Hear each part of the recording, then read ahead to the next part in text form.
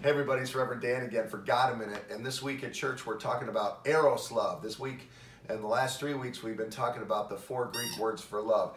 Eros is the love, the physical attraction love, the, the sensual, intimate love. And uh, it's Valentine's Day on Sunday. So that's why we picked Eros love for this Sunday. We're reading out of the Song of Songs, and it's about the love between husband and wife and the words are beautiful and they're powerful about he's talking about how much he loves her and she's talking about how much uh, she loves him and how powerful that love can be.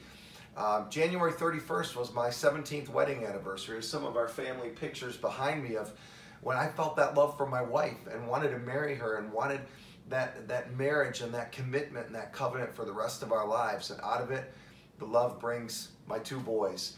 Eros love. Happy Valentine's Day. I pray that you know that love in your life and that you have a beautiful and love filled Valentine's Day. Thanks for giving God a minute.